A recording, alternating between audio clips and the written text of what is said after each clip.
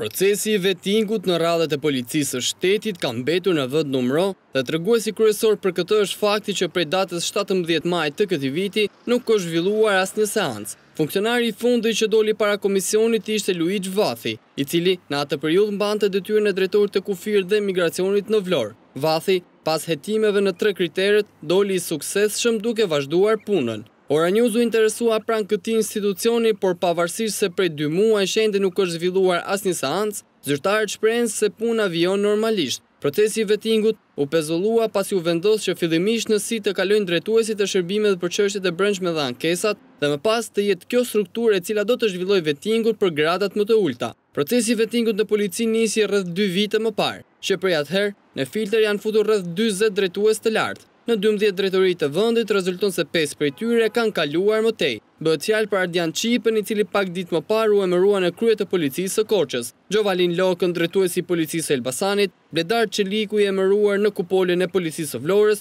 Luigj Vathi i cili mban detyrën e zëvendësdrejtorit të Sigurisë së Tiranës, si dhe Ferdinand Mara i cili u emërua në Fier. Pjesa tjetër e drejtorëve ende nuk kanë kaluar vetingun.